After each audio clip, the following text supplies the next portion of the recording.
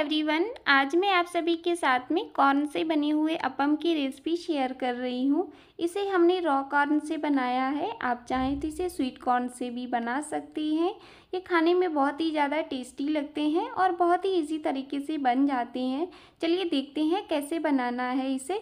इससे पहले अगर वीडियो अच्छा लग रहा हो तो प्लीज़ वीडियो को लाइक कर लें, चैनल को सब्सक्राइब करके पास में बेल आइकन है उसे भी दबा लें।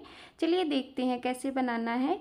यहाँ मैंने दो कच्चे भुट्टे ले लिए हैं। ये जो वाइट कलर के दाने वाले भुट्टे होते हैं, बिल्कुल कच्चा दाना जिसका होता है ये वही वाले भुट्टे हैं और इस तरीके से इसके दाने निकालेंगे। पहले हमें इसकी दो लाइन के दाने निकाल लेने हैं। ये देखिए, मैं जिस तरीके से आपको दिखा रही हूँ, मैंने इसके पहले दो लाइन के दाने निकाल दिए। इसके बाद अब इस तरीके से इसके दाने निकालेंगे, जिससे कि ये बहुत ही ईजी तरीके से सभी दाने निकल जाएँगे, बिल्कुल भी प्रॉब्लम नहीं होगी। इसलिए मैं आपके साथ में ये तरीका शेयर कर रही हूँ कि आप इस तरीके से इसके दाने निकाल सकते हैं। ये दाने हमने निकाल लिए, ये करीब डेढ़ कप के करीब दाने हैं। अब हमने एक मिक्सी का जार ले लिया। इसमें इन दानों को हमें ट्रांसफ़र कर लेना है। अगर आप क्वांटिटी को बढ़ाना या घटाना चाहते हैं तो अपने हिसाब से कर लीजिए। अब ये हमें हरी मिर्च डाल देनी है। दो के करीब हरी मिर्च डालिए। ये छोटे ही हरी मिर्च हैं, इसलिए मैंने ये पाँच डाले हैं। अब इसे हमें मिक्सी को रोक रोक करके चलाते हुए दरदरा पीस लेना है। बीच में ज़रूरत पड़ेगी तो इसमें वन टेबल स्पून पानी डाल लें। मैंने इसमें वन टेबल स्पून ही पानी ऐड किया है और इसके बाद इसे इस तरीके से हमने पीस लिया।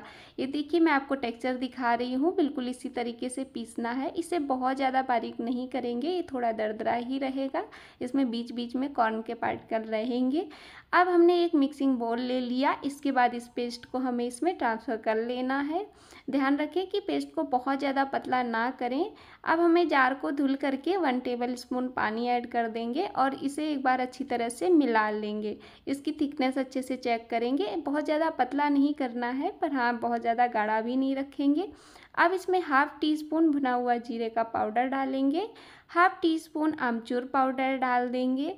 इसके साथ ही अब इसमें टेस्ट के अकॉर्डिंग नमक डाल देंगे। मैं इसमें हाफ़ टी स्पून ऐड कर रही हूँ। आप अपनी क्वांटिटी के हिसाब से आप जितना भी मिक्सर ले रहे हैं, उसके हिसाब से नमक डाल। लें one four teaspoon turmeric powder डालेंगे और वन फोर टी स्पून ही मैं इसमें जिंजर गार्लिक का पेस्ट डाल रही हूँ। इससे टेस्ट बहुत अच्छा आता है। अब ये वन फोर्थ कप के करीब हैं, ये मेरे पास स्प्रिंग अनियन पड़े हुए हैं, मैं ये डाल रही हूँ। आपके पास में अगर कैप्सिकम या कैरेट है तो आप उसे बारीक बारीक चॉप करके डाल दीजिए। इसके साथ ही ये मैंने थोड़े से धनिया के पत्ते ले लिए हैं। इन्हें भी हमने बारीक बारीक काट करके और इसे ऐड कर देंगे। अब इन सभी को हमें एक बार अच्छी तरह से मिला लेना है। पहले इसे मिला लेंगे, इसके बाद ही इसमें ज़रूरत के हिसाब से पानी ऐड करें। पहले ही इसे बहुत ज़्यादा पतला नहीं करेंगे, नहीं तो ये बहुत ज़्यादा पतला हो जाएगा तो पकाने में आपको प्रॉब्लम हो सकती है। अब मैं इसमें वन टेबल स्पून पानी और ऐड कर रही हूँ। मैंने अब तक इसमें पीसने से लेकर अब तक मैंने फोर टेबल स्पून के करीब पानी ऐड कर दिया है।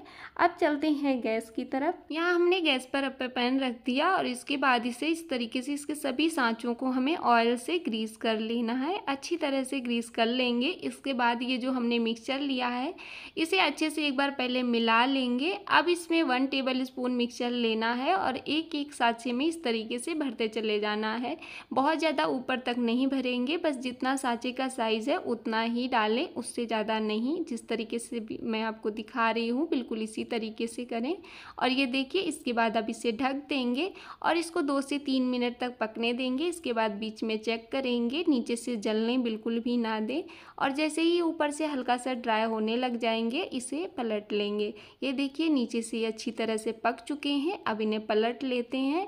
ये बहुत ही जल्दी पक जाते हैं, इसलिए इन्हें बहुत ज़्यादा देर तक ना पकाएँ। बीच में चेक ज़रूर कर लें। और ये देखिए, जिस तरीके से मैं आपको दिखा रही हूँ, मैंने इसे बहुत ही कम तेल में बनाया है और ये नाश्ता हमारा बहुत ही ज़्यादा टेस्टी बनकर तैयार होता है।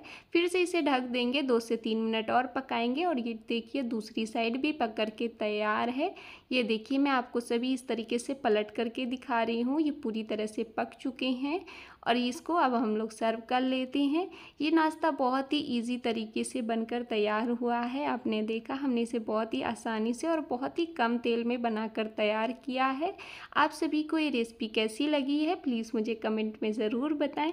वीडियो अच्छा लगा हो तो लाइक सब्सक्राइब एंड शेयर ज़रूर करें। Thanks for watching my